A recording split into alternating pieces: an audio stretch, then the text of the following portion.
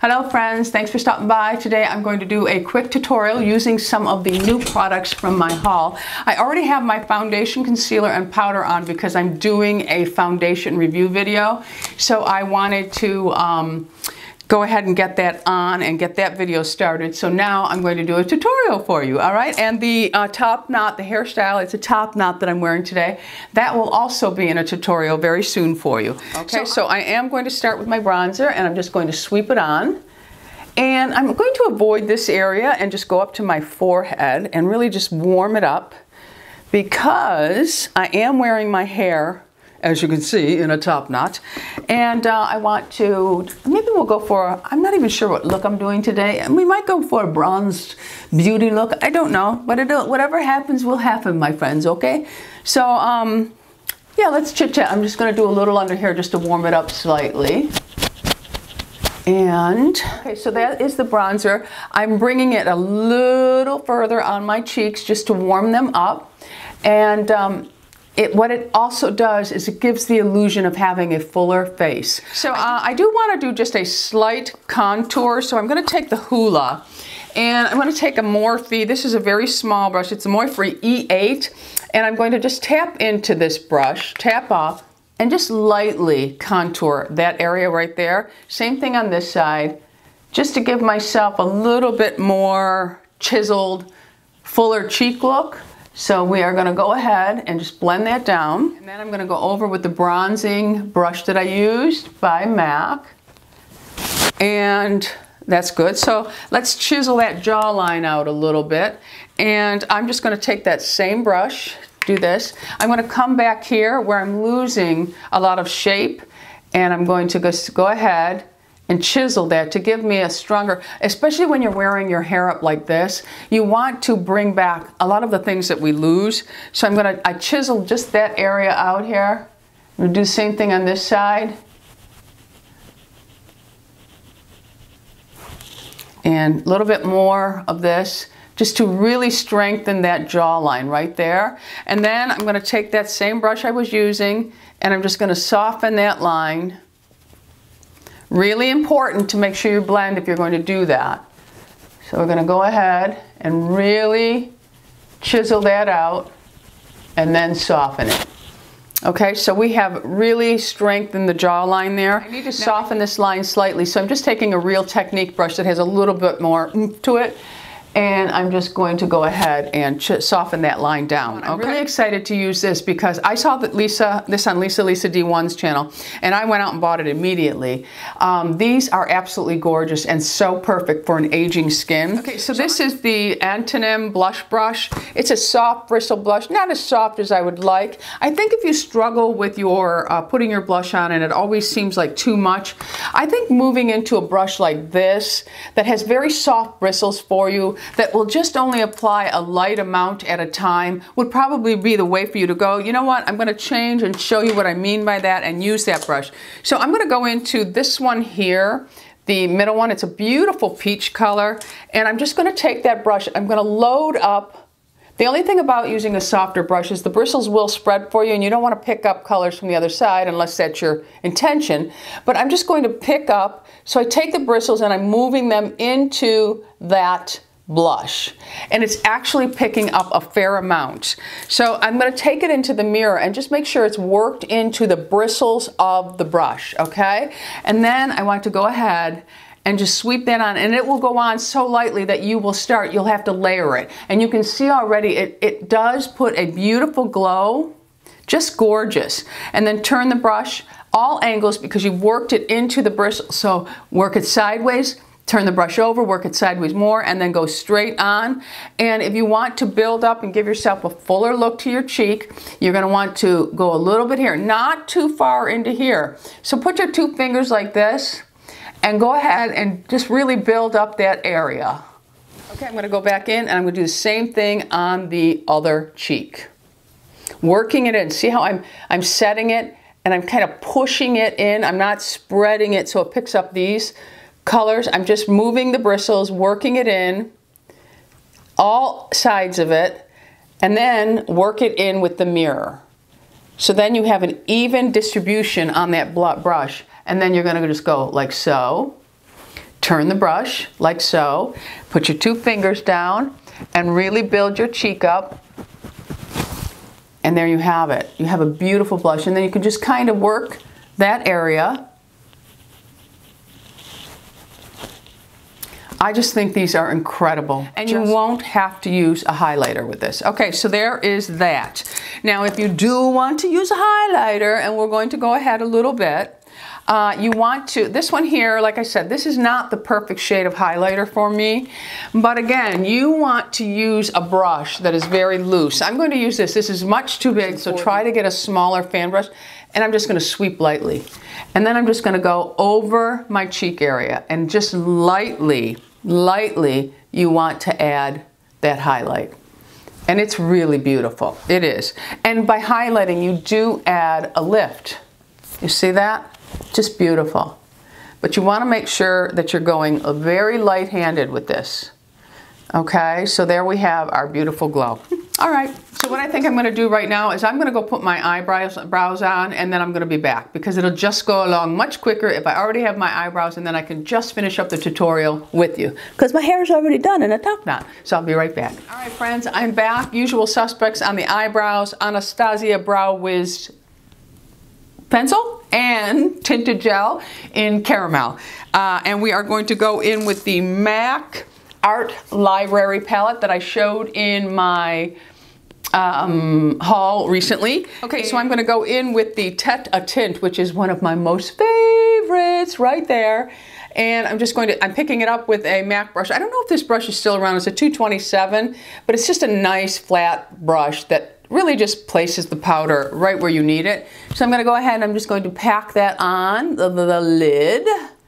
This is just a nice peach tone and I just really, really have always loved it. I love this one and I love Arena by them. That's another beautiful one. But Arena has a satin finish, but I really do like it. So this is just going to be, like I said, a nice simple eye.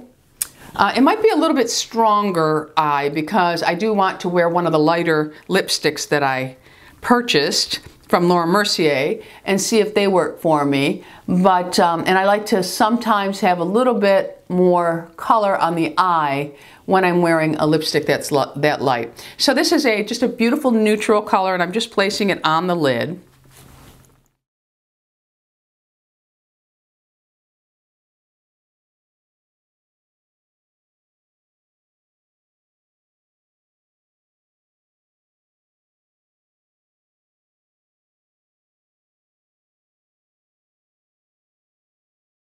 Okay, so I have just placed it on both lids and I just want to look straight ahead and make sure they're even.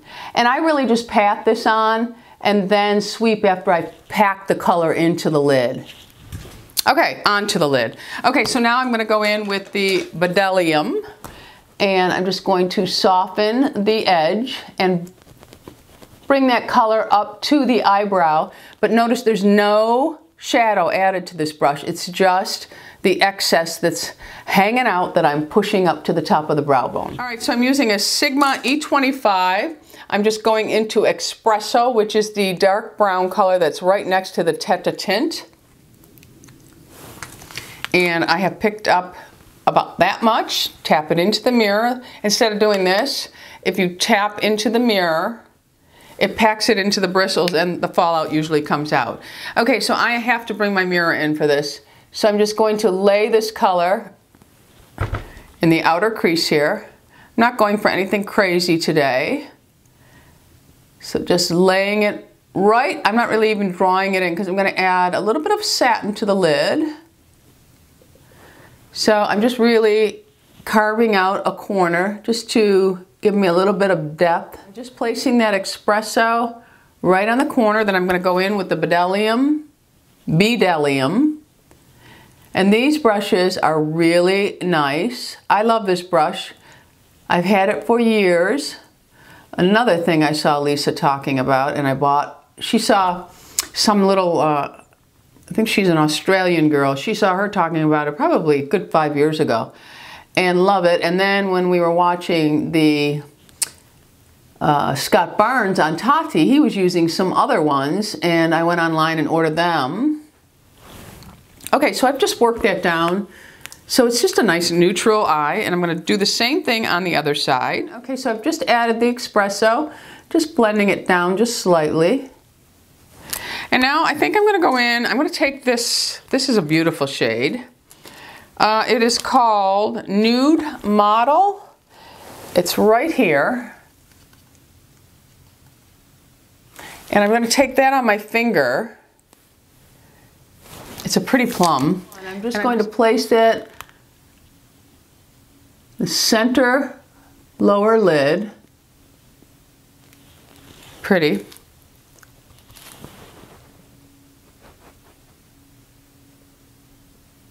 Okay, so I've placed that just on the center lid. Now I'm going to just take that and sweep it into the espresso lightly.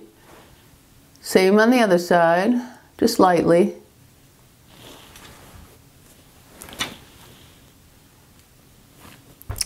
I think that's all I'm going to actually do to the lid. Okay, so, so now I'm going to go in with, this is a tapered crease eyeshadow brush from Ulta. It's the Ulta Professional brush.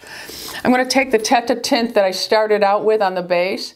And this is a fatter dome brush, and I did pick it for that reason. It has a, a it's a little bit bigger on the tip than a pointed brush. And I, because I want to kind of smudge that color out on the bottom. So I'm taking the Tete a tint and it's going to place a little bit more than I normally would wear underneath and it just kind of marries the eye in doing the same thing on the other side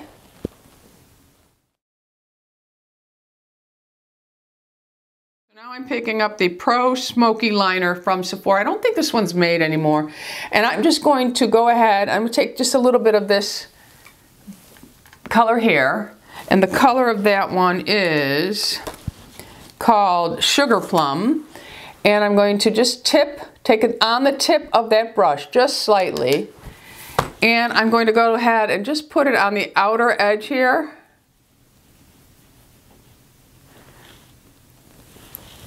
Same on this side, just on the outer edge. Okay, so that is the eye. To highlight the center, I am going to go in and pick up Drop the Robe. It's a pinkier satin finish right here. I'm going to pick that up on the edge of my brush and I want to place that right in the center just to brighten it up here. So I'm, I'm taking it, I'm sweeping it right here on the inner eye and it just opens my eye up just slightly. And brightens that inner area where I tend to be dark a little bit okay, now. I'm going to go back in with this brush here and I'm just going to lightly sweep that down so that it's not too strong. And there you have it, okay? So now I'm going to pick up the Sephora Featherweight Blending Brush and I'm going to go back into that NARS palette and I'm going to pick up some of that blush because you know I have to marry everything together. So I'm just going to lightly sweep that over the eyes. And that just brings everything together. And then you can look at your face and say, okay, do I need any more? Just need a little touch.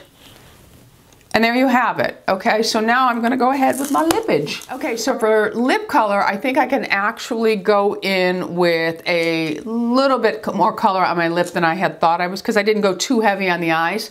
So I'm gonna go in with the Laura Mercier Saffron Pencil. This is one of the newer ones. And I'm just going to go ahead and line my lips.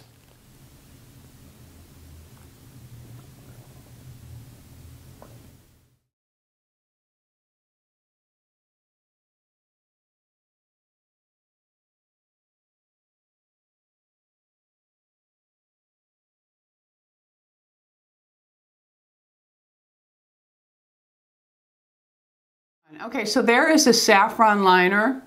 My lips are a little dry right now because I just had um, a laser treatment about three days ago and you do get excessive peeling that goes on after the laser. I have one more treatment to go. I have been recording and that video will come to you, but it takes three months to see the results. It's not a quick fix, my friends. So just hang with me. I do think I'm seeing a little bit happening. But as far as the lip lines, so far I've seen nothing. But she said it can take up to three months. And they did take a before picture and I will have an after picture so you'll all know. Okay, I'm just gonna fill in the edge here. And these pencils feel very much like her other ones. They, they felt drier when I was testing them in my haul, but they apply beautifully.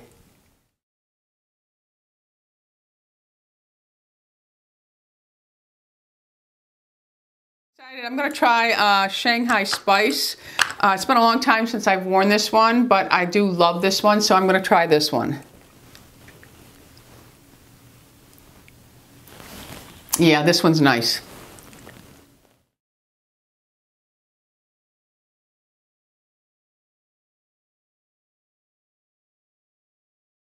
Okay, so this is Shanghai Spice by MAC with the Laura Mercier saffron liner. So I'm gonna go ahead and leave that. I could actually wear even a stronger mouth with this, but we're gonna leave it. And now I am going to go off camera, do my mascara, and I will be right back. And the mascara, I'm finishing up things, as you all know, which you will see in my empties. I'm going to do the L'Oreal Lash Paradise and the Shiseido this is the Shiseido Imperial Lash Mascara Link Ink, not Link, Ink. Uh, I'm going to put those on and I'll have my earrings on and my regular clothes and I will be right back, my friends. All right, my friends, I am back with the finished look. I threw on these earrings. I had shown you these a long time ago, uh, a couple months back. I purchased them from TJ Maxx. Always check out your TJ Maxx for great accessories. I love going in there. I mean, I've never seen anything like this in Lord & Taylor or any of the higher end shops, and I, I, think I paid $12 for them. Just love them. And my top is really cute. It is from, I think I got this at Nordstrom. I'll list and link everything below for you, but it's great. You can dress this up or dress it down. You can wear it with black slacks or black jeans, white jeans. It's just really pretty. It's a very comfortable, flowy type of top. And I wanted to also mention that I did set my my face with the Morphe uh, Continuous Setting Mist. I really like this. It has no alcohol in it, so it's a great one. And I also added a little bit of the Estee Lauder Burgundy Suede to my tight line and curled my lashes with Shiseido's Lash Curler. So I hope you enjoyed this. Let me know in the comments if you're going to give it a try. You can really do this look with any eyeshadows you have that are similar. They don't have to be MAC. They can be NYX, they can be e.l.f., they can be anything. It's just a really simple, simple eye and then really build up your lashes to help it pop.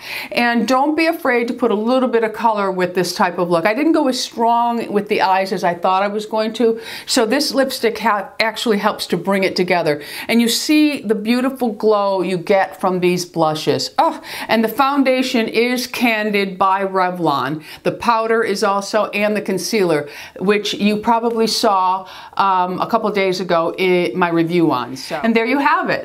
Thanks for stopping by. Don't forget to subscribe, hit that notification bell so that you are aware of everything that I put up on the tube, and uh, go out in the world and be happy, healthy, beautiful, and most of all, my friends, lovable. I love you all. Bisous.